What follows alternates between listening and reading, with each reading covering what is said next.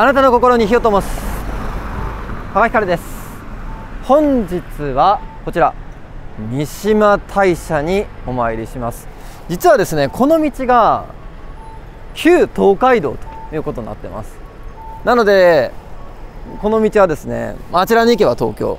そしてこちらに行けば京都というふうにつながってる道なんですけども6月ですね末にユニア塾の方で三島大社の団体参拝を企画しております。で今回はその下見ということでお参りさせてもらってるんですけれどもはい。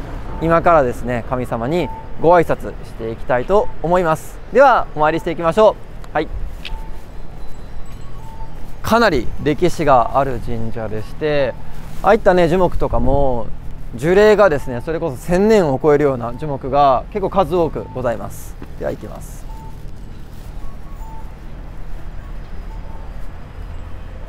実はもうさっきお参りしてお土産買っちゃったんですよ。はい。あのここの池もですよねえっ、ー、ともう1000年以上前からの歴史があるとされております池でございますね。記録にも残っております。でずっとねこうお参りしていきますと厳島神社厳島姫が祀られております厳島神社があるんですけどもこちらはですね鎌倉幕府を作った源頼朝の奥様であります北条政子がですね、えー、誕生したというふうに言われております。俺ね鳩さんたちがねすごいんですよ。本当に。もうねすごい人に恐れないというか。もう普通なんかこんなとこでほっこりしないじゃないですか。でもすごい鳩さんたちがねこういうところでほっこりしてるんですよね。はい書いてありますね。えこちらの、えー、神様が宿るですね池なんですけれども上池。827年に上池の水が枯れてそして神官の訴えにより朝廷は三島神殿において雨乞いを行わしめたというふうにしてでそこから、まあ、ずっとですねこの池は残ってるということで記録にも残ってます。でいろん一辺上人の絵巻物の中にもこの池は出てくるということで非常に歴史ある池でございますね。はい、えー、三島明神ということなんですけれども今から60万年前に太平洋の海底火山群がこうぐわーっとですよねプレートの移動によって隆起してきていわば日本列島とぶつかった。それによってできたのがこの伊豆半島なんですね。今から1万年前に富士山が噴火したんですよ。でバーッと溶岩が流れてきてこの辺りのベースができた。でさらに今から3000年ほど前に山崩れがあってかなり大規模な。でその山大規模な山崩れの中でダーッとですねこの辺りの、まあ、土地ができてきたという流れとなってます。で御祭神三島明神ということなんですけども三島明神って一体何の神様かというとこれ2柱いらっしゃいまして大山積の神と琴城主の神でございますでもともとは大山積の神様がですね、まあ、三島明神なんじゃないかと言われてたんですが江戸時代に現れた平田篤胤という方が琴城主の神もですね三島明神なんじゃないのかということを唱えましてでそこから三島明神は大山積の神と琴城主の神の2柱になったということなんですね。そうです。で大山積の神ですね。えっともともとこれねどこの神様なのか。もちろんでこれねずっとこれ北の方に行きますと富士山があります。だからまあ富士山の神としての大山積の神。かもしれないしもっと言うとこの大山積の神って和田市狼といって和田市って海のことなんですね。海の神であると。つまりは航海民族にとっての神であるという説もあります。でなんで甲賀民族の神様が山の神様かっていうと海をですよねずっとこう渡っていく時に何が目印になるかっていうと山なんですね。だから甲賀民族が山を目印にする。山が神様だよねということで大山積みの神ですね、えー、海人族にとっての神様としての大山積みの神というふうなつながりがあるということでございます。でまた今年主の神様はですね釣りをしている神様でもありますね。だからこれもですね海人族ですよ。まさに海で魚を釣ってそうやってね食料にしていたということもあるかと思います。はい。では三島明神お参りしていきたいと思います。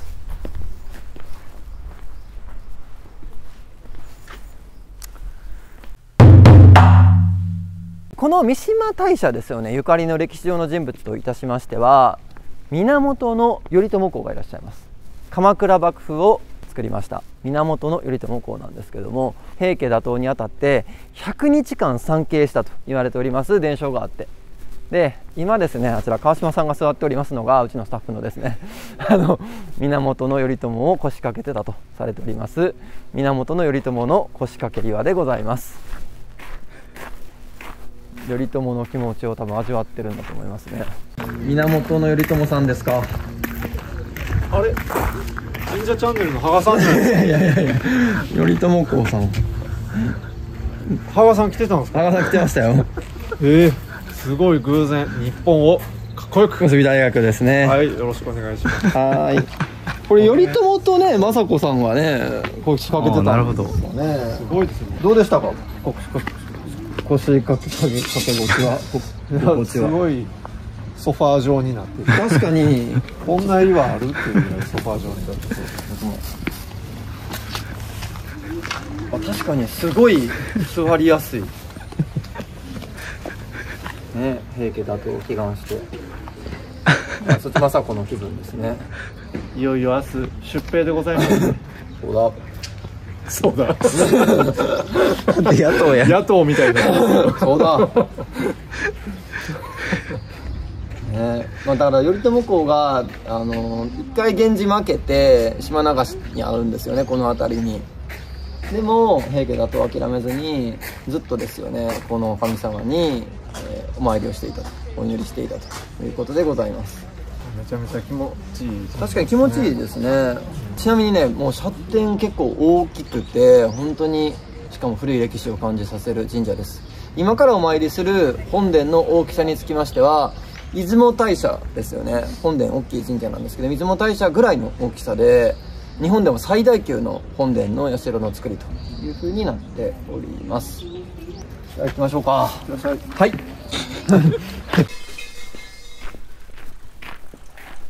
では。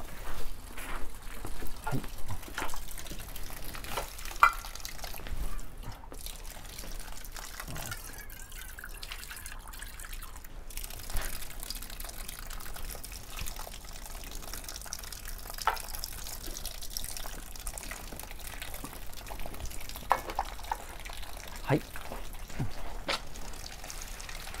琴白主の神は古来から俗に恵比寿様ということで福徳の神ね商工業漁業の数形厚くまた大山積みの神は山林農産の守護神として農家の尊敬が厚い王子からのご神座になり朝廷の数形厚く宮中八神にも祀られて皇室の守護神とも言われているということですね。はい。福徳の神様。そして山の恵みの神様海の恵みの神様でもあるということでそういった自然の恵みですね。そういった感謝の気持ち持ちながらお参りしていきたいと思います。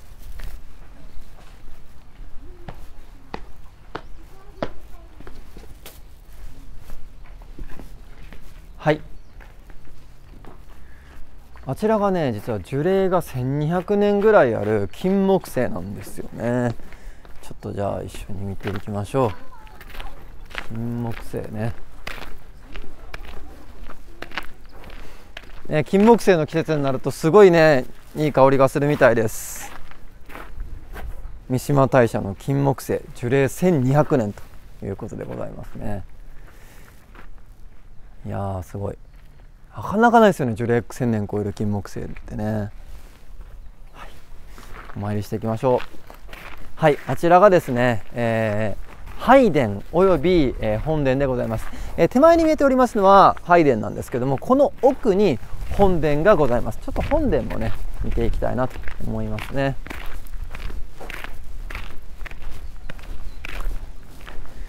いや本当すごく清々しく気持ちいい神社ですね。ちょっとね本殿の奥を見ていきたいと思います。よいしょ。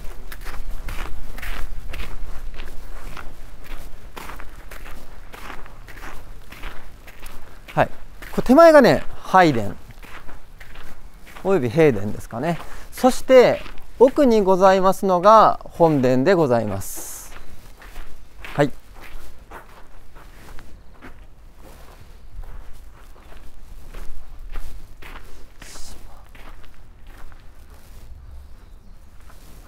今からですねそれこそ本当にこう1万年ぐらい前からこのまさに土地っていうのは山崩れがあって土地となってそしてこう人々が住むようになってそこに住んでた人たちがやっぱ崇敬してきた神々があって日本の中でもかなりですねやっぱり歴史が古い神社だと思います。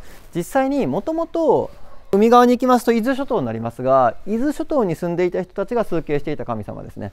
でこの伊豆諸島もやっぱかなり古くから人々はやっぱ住んでおります。本当に縄文時代から続くようなまたそういった信仰といいましょうか神々が本当に息づく聖地というのがこの三島大社で今ですよねこのこの混迷する時代の中で日本人のルーツとお知る意味でも非常に重要な神社であると考えております。はいではお参りしていきましょ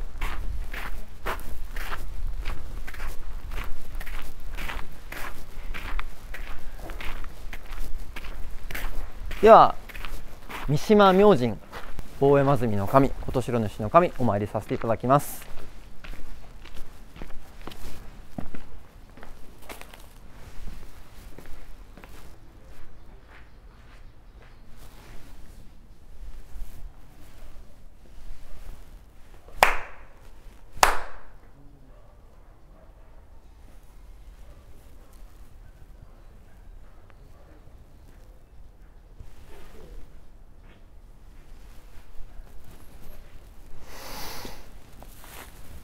はいということでお参りさせていただきました、えー、6月末ですね。参加される皆様の幸せそしてイベントとしての成功をお祈りしまた、えー、神様への感謝捧げさせていただきました。またね、えー、6月末お参りする流れとなっておりますけれども今回は三島大社むちゃくちゃいい神社なのでぜひですね皆様もお参りいただけたらと思います。ということで、えー、ご視聴いただきましてありがとうございました。